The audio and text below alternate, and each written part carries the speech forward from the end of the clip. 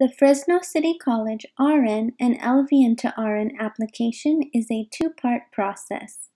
This video will walk you through the online portion of the application.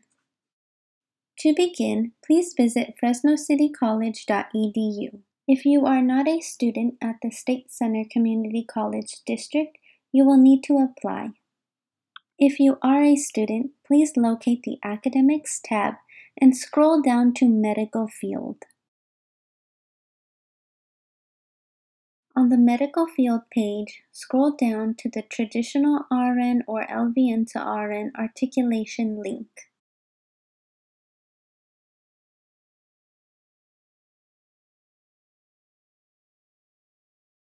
Scroll down to begin the Registered Nursing Program application.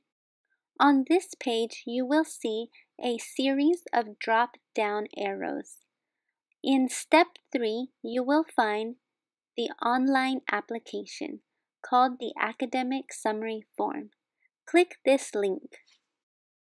Please read the informational directions and scroll down to start your application. To fill out step 1, you will need to click on Edit this section at the top. Use the drop-down lists to answer the following questions. You must answer every single question listed. Step 2. Remember to click Edit this section. Answer the following questions. A tip is to limit the amount of characters you use. When filling out college names, keep them short. Step 3. You will now fill out each prerequisite course you have taken.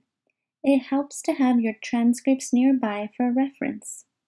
Please type the college name, the title of the course, such as Bio 20, the grade you received, the amount of units, and the semester that you took the course. You will continue to fill out this information for all of the prerequisite courses. In step 4, you will fill out the same information for the general education courses. These courses do not have to be completed in order to apply to the program. Please type your cumulative GPA from all the colleges you have attended. If you are not sure how to calculate this, you can leave it blank. Now you are ready to submit the online portion of the application. You may want to review your work before submitting to make any final changes. Follow our next video on how to submit your application documents. Visit our webpage to check your application status for results.